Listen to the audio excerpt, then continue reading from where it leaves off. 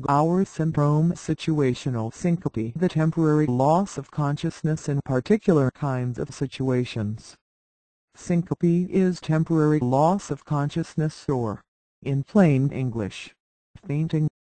The situations that trigger this reaction are diverse and include having blood drawn, straining while urinating or defecating or coughing.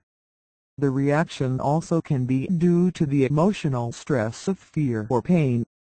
With Gower syndrome, people often become pale and feel nauseated, sweaty, and weak just before they lose consciousness. Gower syndrome is caused by a reflex of the involuntary nervous system called the vasovagal reaction. The vasovagal reaction leads the heart to slow down bradycardia and, at the same time, it leads the nerves to the blood vessels in the legs to permit those vessels to dilate widen. The result is that the heart puts out less blood, the blood pressure drops, and what blood is circulating tends to go into the legs rather than to the head. The brain is deprived of oxygen and the fainting episode occurs. The vasovagal reaction is also called a vasovagal attack.